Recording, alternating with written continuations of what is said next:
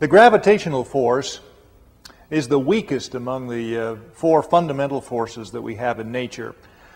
We take these two uh, uh, rubber plastic rods, put them close together, in principle there's a gravitational force between the, between the rods. But in practice, because their masses are so small, they don't seem to influence each other much at all.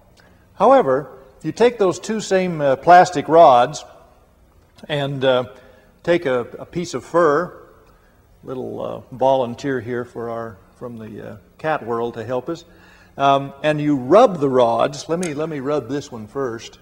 Rub the rods with the cat fur. You do something to those rods by the rubbing that makes them different than they were before.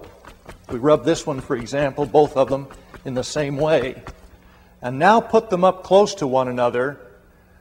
Those two rods exert forces on one another. If you put this rod close to it now, it's not like uh, the gravitational force, it's a much stronger force.